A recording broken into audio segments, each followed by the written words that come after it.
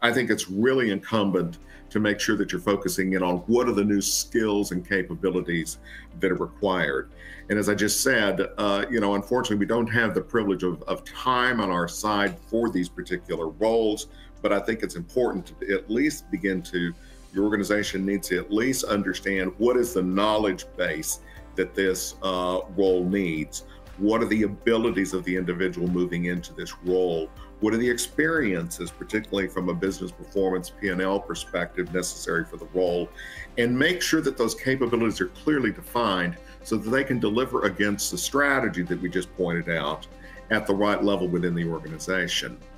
Obviously, uh, those capabilities have got to be very much aligned against how do you drive the business goals, as, as you can see to the right of this um, of this arrow, and to the left that there is a declared mandate by the CEO on the importance of this role, just as uh, a CFO is important, just as a chief information officer role is important and then to make sure that it is completely aligned with the C suite and executive team